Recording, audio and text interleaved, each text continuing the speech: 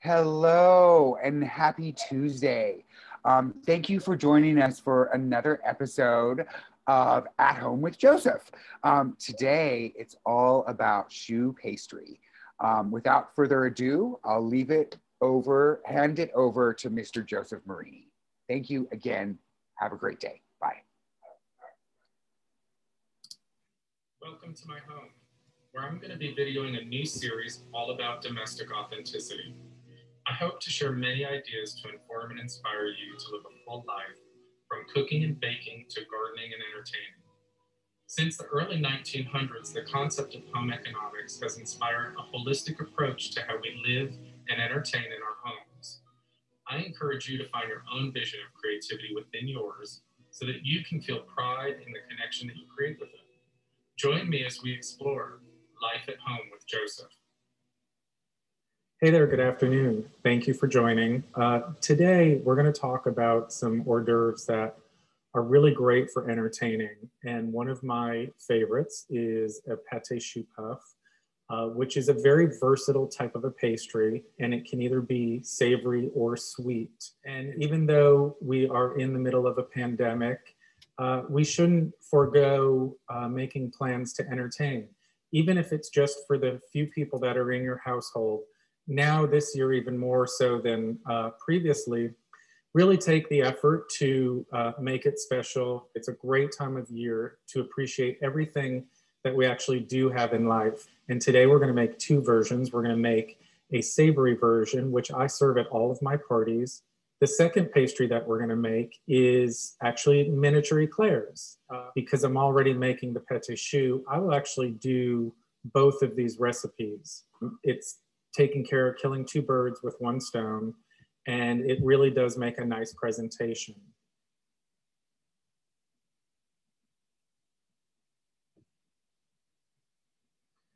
So pâte choux is a very old French uh, pastry and the ingredients that it requires is one cup of milk. I actually use a half a cup of water and a half a cup of milk um, one and a half cups of all-purpose flour. It is very important that you sift the flour ahead of time. You don't want any lumps uh, that will not dissolve when you're making um, your paste.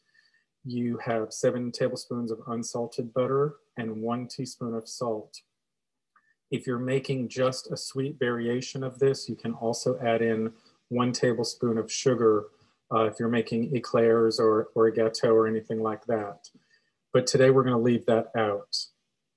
So to begin the process, you want to boil your water and milk mixture with your salt, get it all in there, and your butter. So what we want to do is bring all of this mixture to a boil, but we don't want to boil out the liquid that's in there. So before it actually comes up to a boil, you want to get the butter to actually melt into the milk mixture, and then we'll bring it up to a rolling boil. If it were to start boiling now, while the butter was trying to melt, you would just end up evaporating the liquid. Once the liquid starts coming to a full boil, so not just a little bit around the pot, but the whole pot starts to come to a full boil, we're gonna dump in our flour and set the heat on low because we do still wanna cook out the flour. So we've come to a full boil here. I'm gonna turn this down to low, dump in the flour, and I'm gonna just, I'm gonna stir this mixture.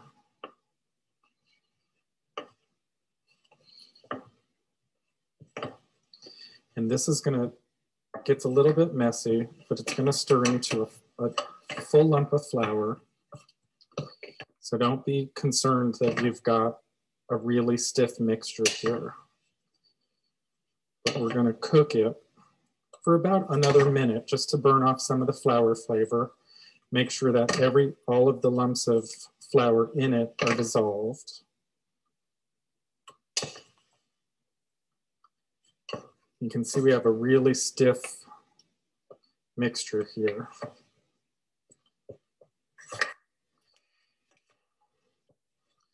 You'll know this dough is done cooking when it starts to leave a faint trail of dough along the bottom of the pan. And I'll show you what that looks like.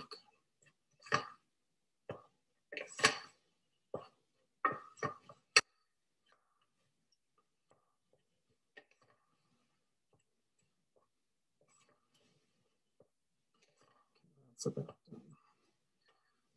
When you start to see this part of the dough, you're done. So we are going to transfer this to our mixing bowl fitted with a paddle mixer and add the rest of the ingredients. So we've got our hot dough. We're gonna turn this into the mixture fitted with a paddle. And on very low speed, while the mixture is hot, you want to let a, a little bit of steam out of it. But while it's hot, you're going to add in one egg at a time until it's mixed. You do not want to over whip this dough, so on a low speed is just fine. And it will look somewhat curdled as you're doing this. And what I'm putting in are five eggs. So I've separated five whole eggs and I'm adding them one at a time. And I've got a sixth egg here that I've whisked into an egg mixture because I may not need that whole egg if I need it at all. Really depends on the consistency of the, uh, of the dough. And the reason that I do this is because at the end, you're gonna wanna do an egg brush on all of the uh, batter before you get it into the oven. And in an effort to not waste an egg, if I don't use all of this, I can use that.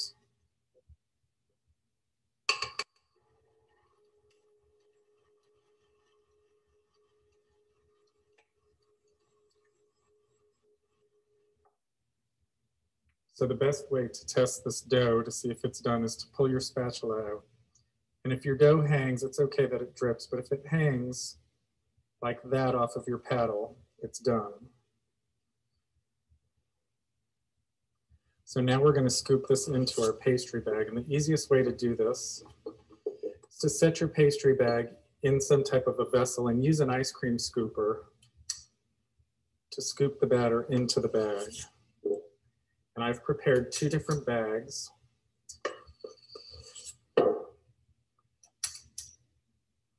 Because I'm going to show you two different types of ways for piping them.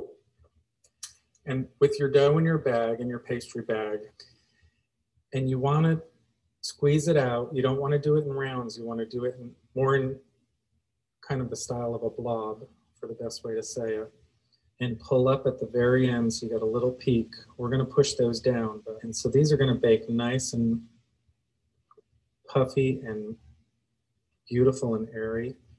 You're going to bake these in a 425 degree oven for the first 10 minutes. And then we're going to lower it down. And that really high heat is going to help these to puff up.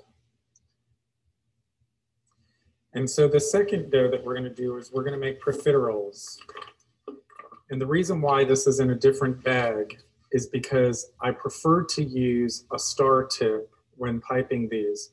The star tip is gonna help to give a really long uh, uniform shape to the eclair when it's baked.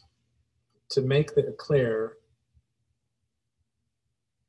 you wanna go very slowly and evenly and make a log. And I'm using the one end of my Silpat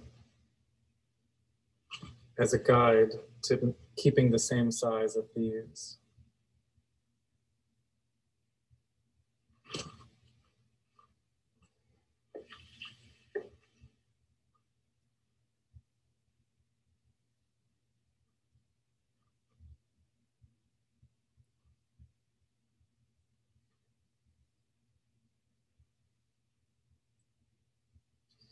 And the other shape we're gonna do is I have created this round template out of a piece of plastic.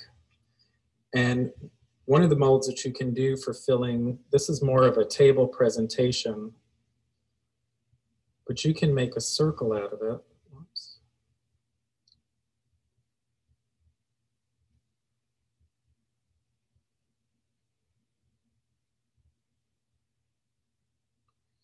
And this form just helps you keep a circle base. And I usually go over the top of it with another layer. because I want this to be nice and big and thick. And then once that's piped, we're just gonna carefully pull our form out of there and we've got a nice circle. And we're also gonna give these an egg wash, help smooth out the sides. So this round one, when it's filled, we're gonna cut it in half, fill it with a mousse, and then you can present it on your table with the center of it filled with some fresh raspberries or some blueberries. And it makes a really nice dessert when you're having a dinner party. These will now go into our 425 degree oven to start the process and we'll check on them in a few minutes. So the savory filling that we're gonna make for our puffs for entertaining is a curry chicken salad. This is a very old recipe of mine. It is a great crowd pleaser that everybody loves uh, when I serve it at parties. And it really makes a great filling for uh, the puffs that we just baked off. So some of the ingredients in uh, the curry chicken salad is chopped up shallots, two tablespoons of curry powder, chopped dill, capers, uh, celery that's chopped up, canned pineapple. Now there is something very important to tell you that you cannot use fresh pineapple in this recipe. It has to be canned. The fibers are too raw in the fresh pineapple if you were to put it in there and it actually spoils the chicken salad.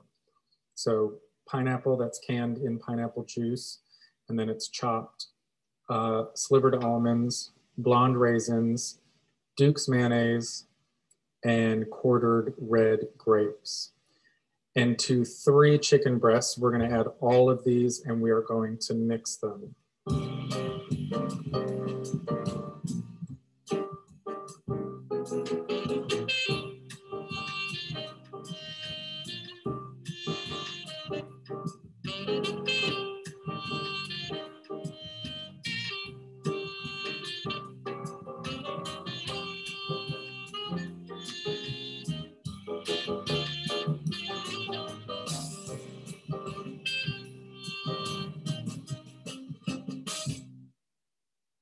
And I also am gonna add just a little bit of Maldon finishing salt in this.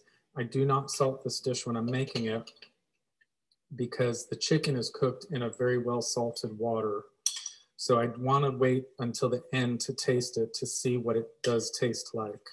Again, you wanna add just enough salt so that you can taste all of the ingredients.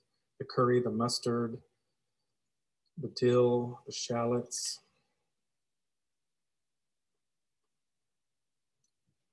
Perfect. So one very important step when making these is when they're just about done, you want to pull them out and poke a hole in them because you don't want moisture to be trapped in them, otherwise they'll fall. And then you want to put them right back into the oven for about another three minutes on a low temperature just to let them crisp up. But these are pretty well done. So we're just going to let those finish off we have these beautiful round golden puff pastries and they have a really nice crispy shell to them. So we're gonna very gently, with a serrated knife, we are going to slice through them and look how beautiful that came out. So those are gonna get filled with the chicken salad. So with all of our shells cut, we're gonna scoop in some chicken salad into it. And I like to use a small little scooper like this because it really, it gets the chicken salad in there in one scoop. It's nice and clean. And then you can put the top on it like that. Isn't that just beautiful? These are curry chicken salad puffs made with a pate choux and my homemade curried chicken salad recipe. Not only do I love to make these, but I also love to eat them.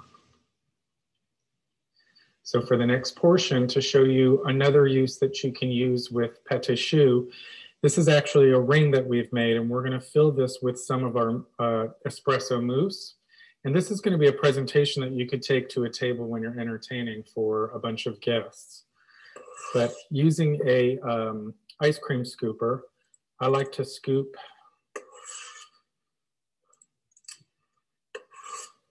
my mousse right into the ring. Keeps it nice and clean. And you know you're getting an even amount all the way around. We're very carefully going to place the top of the ring back on.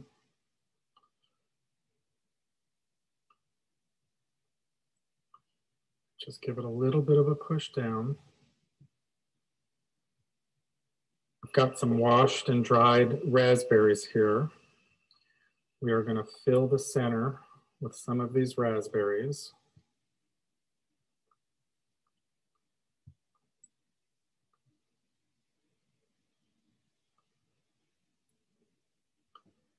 a nice heaping mound of them.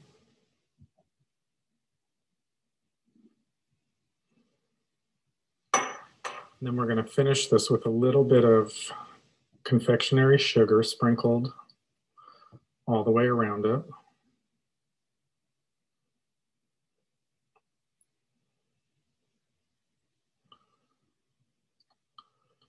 Doesn't that look nice and festive for Christmas? Maybe a few leaves on either side of the platter.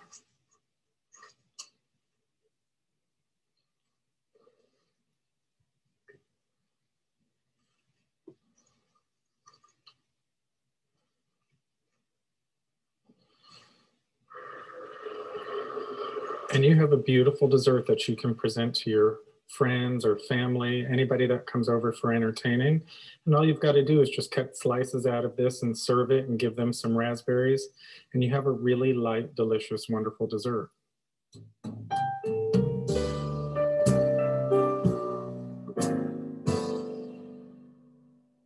So we're going to slice these open.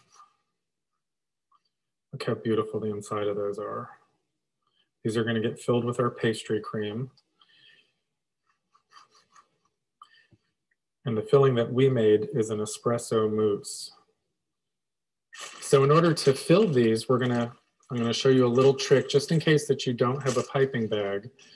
So in a Ziploc bag, I'm gonna make sure all the air is out of here. I scooped in my mousse into there, and I'm just gonna clip off a very small corner of this bag so I'm gonna very carefully pipe this in.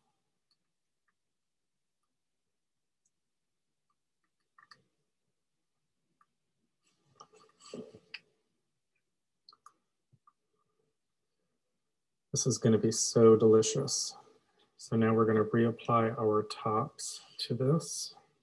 Not squishing too hard on them. You don't want all of that nice mousse to spill out of them. You want to have a very clean presentation. And we are just going to very gently dip these into just a little bit of chocolate just on the top. Like that.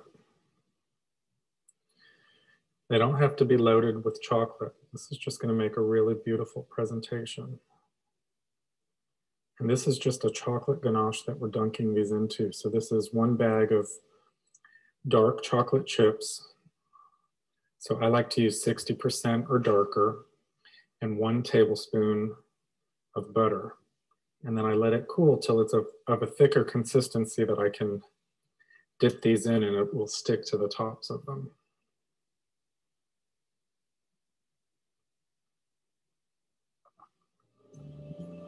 And the best part about making all of these is that you get to actually sample them. Mmm, they're so delicious. Just the right amount of chocolate, a nice crispy shell, and a very light espresso mousse in there. It is the perfect finger dessert to serve to your guests during the holidays. Thank you for joining me, and uh, we will see you at the Q&A session. Thank you.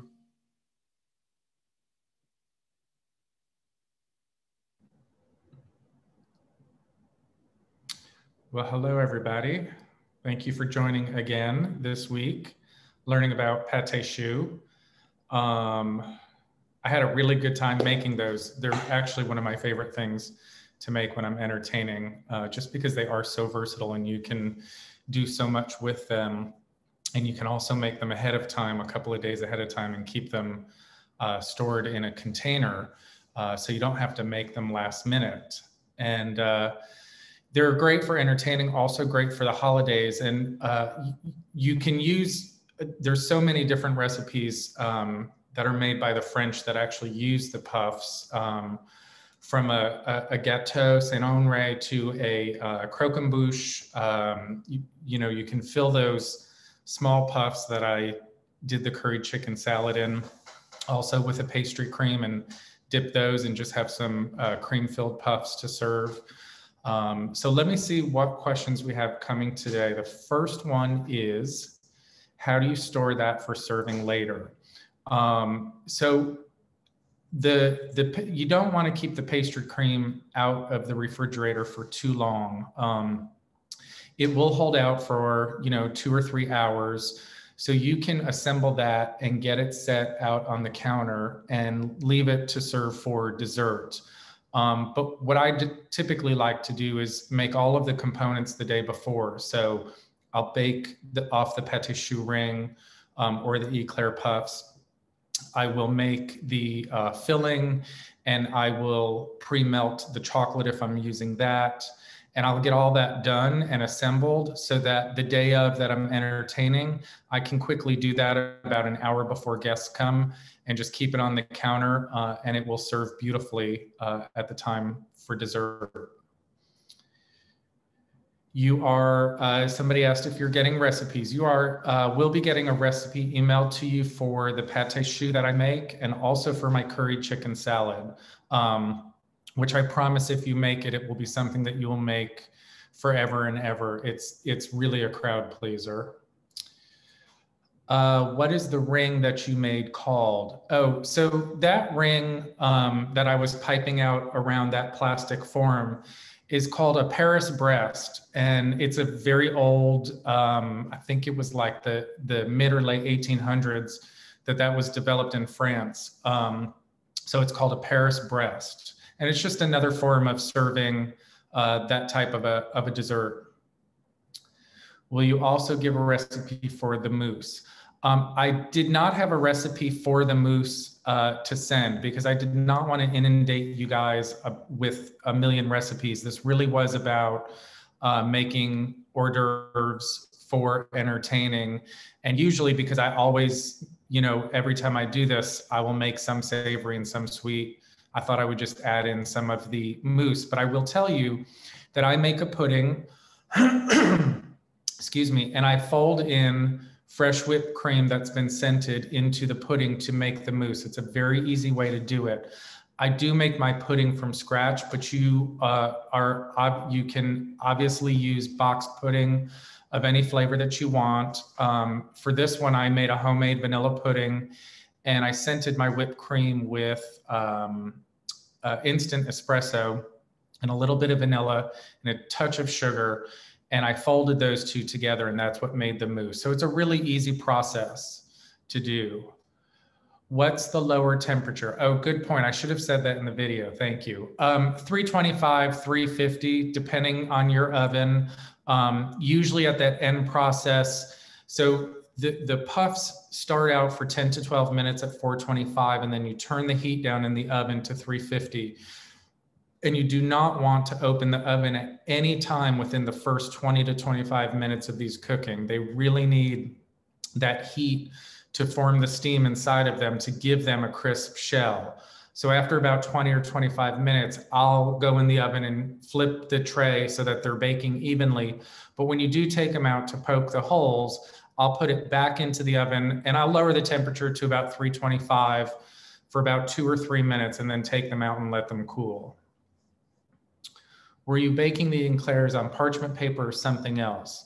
I was using a Silpat, um, and I spoke about this in one of the other videos. So it's just a silicone baking mat that uh, they're reusable.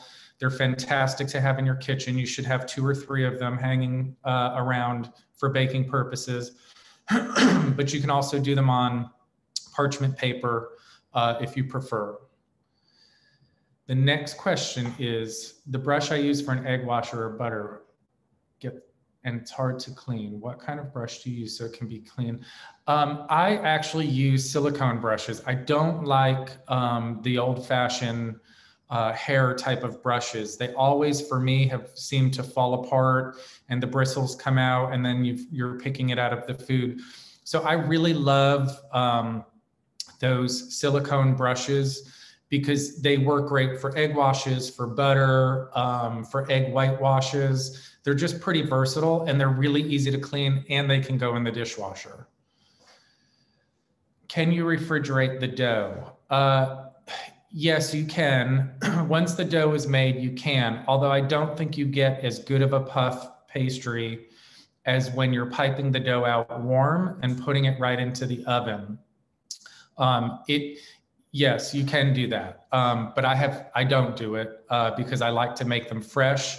And for that reason, once those puffs are actually baked, you can keep them in a sealed container for three or four days on the counter and give them a, a, quick little crisp in the oven before you're ready to use them. And you can also freeze those puffs in a in a, a very well sealed container for future use. So um, it's best to use the dough right away while it's warm and freshly cooked.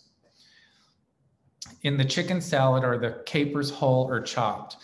I chop mine. I don't like having huge pieces of things in food. So I like things to be well distributed uh, throughout. So I do chop my capers. I even chop the raisins a little bit just to give it a little bit more of a distribution. So when you bite into it, you're getting the flavor of it, but not just a raisin.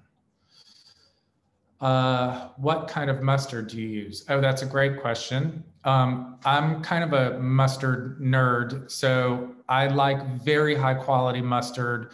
Um, most mustards that you get in the grocery store, they're satisfactory. Um, but I do have a mustard that I order online, which is uh, from France, and uh, it's called Fallot, and it is uh, probably one of the best mustards you've ever eaten. And once you've had it, you probably will never go back to anything else.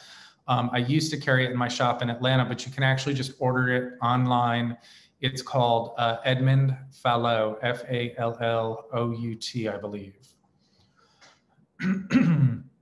Let's see, how would you make a chocolate filling?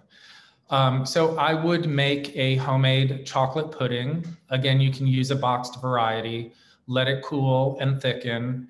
And then I would uh, make some fresh whipped cream using a little bit of vanilla, very little bit of sugar. You don't want it to be too sweet. And then fold the two together. And that gives you a quick chocolate mousse. I thought to sprinkle the baking sheet with water before it goes in the oven. Okay, so that is a that is a, a great baking controversy. Um, a lot of people think that much like a water bath gives a very egg heavy type of a cheesecake the ability to um, cook better and more and more solidly. Um, a lot of bakers like to wet the bottom of their parchment paper and then set it on top of a baking tray before piping your pate choux on top of it. I don't like that. I think it creates too much moisture in the oven uh, the you're using fresh eggs as leaveners and there is enough moisture in those to produce a very uh, beautiful open airy puff with a hard shell. I find that the more moisture that you externally provide in the oven actually creates less of a crispy shell on the outside and sometimes your puffs can tend to um, deflate a little bit and they're not as crispy. So I don't like doing it. Some people do, and there's nothing wrong with it. Um, I have just always found that the drier the oven, allow that moisture to be inside the puff, not in the oven. But that's a great question. Thank you. Uh, let's see. How would you decorate the tops for a Christmas theme? Uh, well, you know, the, this powdered sugar always looks great. It looks like sprinkled snow. Um, you could also do a uh, drizzle of a caramel, or you could even make a spun sugar, which is basically cooking uh, sugar and water together to a certain temperature. And then um, you are creating sort of a, with a, a, spoon, you're waving it in the air so that it cools and it makes a very nice, thin uh, topping to it. That's very Christmassy. Um, but these are really simple desserts. They're not that fancy. So they shouldn't, you shouldn't go overboard with decorating them. The beauty of them is in their simplicity. So show off actually what you have made rather than spending a lot of time decorating it and covering it. Uh, please talk about the type of raisins and curry spice needed for the chicken recipe. So I use blonde raisins. I don't use dark raisins. Um, blonde raisins to me have a little bit more of a milder flavor. Um, and I don't like seeing the dark specks of raisins in uh, the curry chicken salad. So I use blonde raisins and I use very fresh ones because you don't want to reconstitute these with any water. You will end up uh, adding water to the chicken salad, which will just, once it's in the fridge, will end up watering down the mayonnaise. So I use very fresh um, raisins and I, I give them a little chop. And, you know, when you're baking and you're putting raisins into batters, you can reconstitute them if they're a little hard. I don't do that for this. And also, any type of curry powder will work. Um, any brand that is uh, in your grocery store will work fine. Um, some curry powders are a little bit spicier than others. Uh, so if it is, you may want to add a little bit less. And you know, with making anything, be judicious in how you add your ingredients. If it's an ingredient that you're mixing, um, like in the curry chicken salad, you can always add more. You can't take it out. So if you're worried about it, add one tablespoon, add two tablespoons. Um, you can always add more by tasting it rather than once there's too much in there, you've ruined it. Can you freeze leftover chicken salad? No, you cannot. But you can make your chicken and then you can, you can cook your chicken, chop it all up and freeze it in a container so that if you do want to make a quick recipe of it, if you've got somebody coming over last minute, you can pull it out, thaw it out, chop up some of the ingredients and mix it together. Never heard of Duke's mayonnaise. How is it different? Um, so Duke's is probably, in my opinion, one of the best mayonnaise made. And the reason for it is because they do not add sugar to it. So it does not have that sweet aftertaste that most mayonnaise, like a Hellmann's or the um, Blue Spoon or whatever it's called, um, has. Most manufacturers add sugar. Duke's does not. So I find that Duke's does well in, in a lot more recipes. And I really, it's the only mayonnaise that I ever use for anything. And I've got one last question here. Let's see if anybody has any more, please feel free to send them in as I'm answering. Can I make these a couple days before serving? Just the salad, maybe a day or two for the pastry. Yes, you can make both. Uh, the curry chicken salad, you can make one to two days ahead. That will usually hold for about five days in your refrigerator. And the puffs, you can make one or two days ahead and just keep them in a, a covered container on your uh, kitchen counter. Um, they won't go bad. The, if you find that keeping the puffs in that container have softened them a little bit, you can just pop them in a 350 degree oven for about five minutes they will crisp right back up and be uh, absolutely wonderful. Um, so that is all. Oh, no, I got another one. Let's see.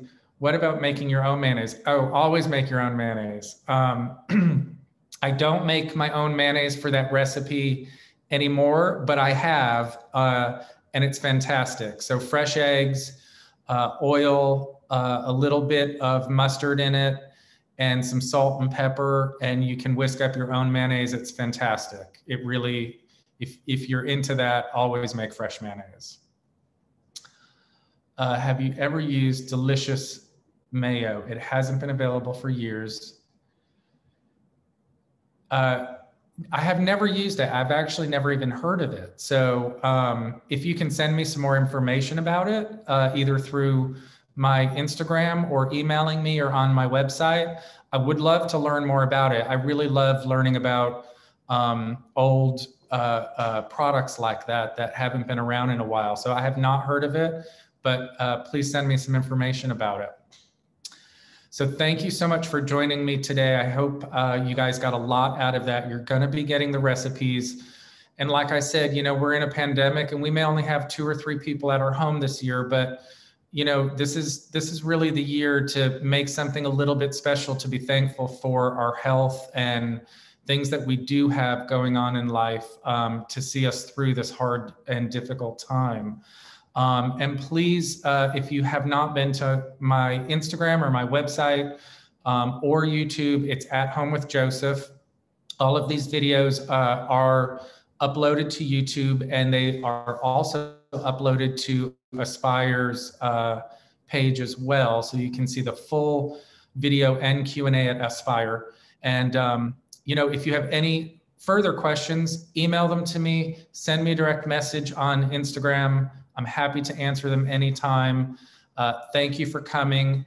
And we've got a really great episode scheduled for next week, but I can't tell you what it is yet because it's a surprise. It is the week before, uh, a couple days before Thanksgiving. So uh, make sure you tune in and join us next week. Thank you.